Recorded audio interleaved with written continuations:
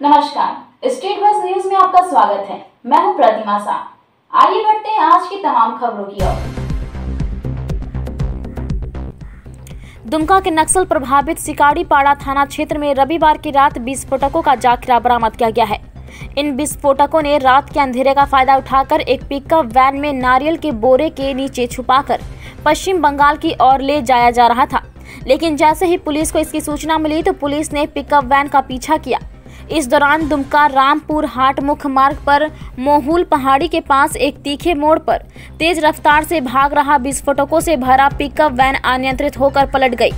Police ने जब pickup van की जाँच की तो वैन में नारियल के बोरे के नीचे छुपा कर रखी गई भारी मात्रा में विस्फोटक बरामद किया गया।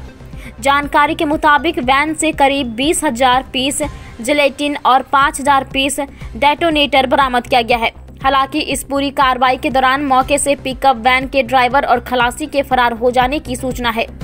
मामले की गंभीरता को देखते हुए दुमका एसडीपीओ नूर मुस्तफ़ा अंसारी मौके पर पहुँचे। साथ ही सिकाड़ी पाड़ा थाना प्रभारी सुशील कुमार भी अपनी टीम के साथ वाहन की जाँच में जुट गए।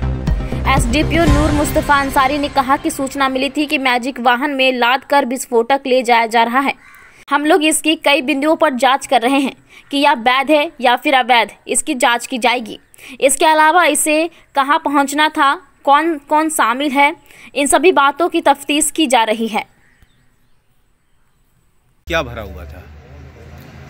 आज दुमका के शिकारी फड़ा थाना क्षेत्र में गुप्त सूचना मिली थी कि कहीं से विस्फोटक पदार्थ एक गाड़ी आ रही है। उसी के क्रम में हम लोग जाँच चेकिंग लगवाए थे और उसी में एक पिकअप वैन आ रहा था जिसमें एक्सप्लोसिव भरा हुआ है, जो अनियंत्रित होकर के टायर फट गया है और वो गाड़ी जो है कि पलट गई है।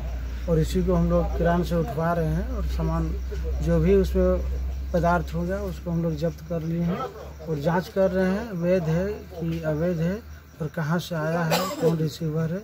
हर बिंदु पे हम लोग जाँच कर रहे हैं और आगे जो भी होगा उसको आपको स्पष्ट कर दिया जाएगा।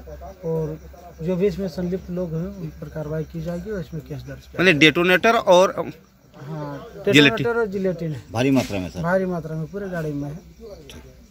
ऐसे ही तमाम खबरों के लिए स्टेट बस के यूट्यूब चैनल को लाइक और सब्सक्राइब करना ना भूलें। धन्यवाद।